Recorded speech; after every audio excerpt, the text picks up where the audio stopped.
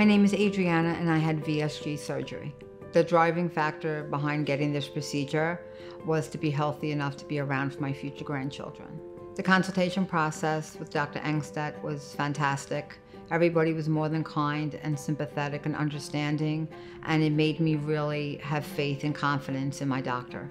Wow, the day of surgery, I was scared. I wanted to call it off a hundred times. Dr. Engstedt met me. He said, everything's gonna be fine. You're gonna be in and out. And when I woke up, I had absolutely no pain. I didn't need any painkillers. I started walking right away. It was a total process of relearning how to live again and how to live the right way versus the way that I had lived previously. And I'm so grateful to New York Bariatric Group for allowing me to have that second chance at my life again. I went from a size 22 to a 6 and walking past the mirrors like in a store it's like wait a minute who is that? I could run up the stairs and not be out of breath. I can go on a treadmill for five miles and i'm good.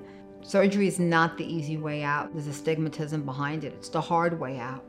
You're faced to learn who you are and I learned who I was, and now I look in the mirror and I like the reflection that, that looks back at me because I'm proud of who I am today, and I'm proud that I took that initial step to do it. If somebody is contemplating bariatric surgery and you're looking for a good surgeon, New York Bariatric Groups has everything that you could possibly want in a doctor. So if you're scared, don't be because they're going to take care of you. All you have to do is make the big step for yourself and walk in the doors, they will do the rest.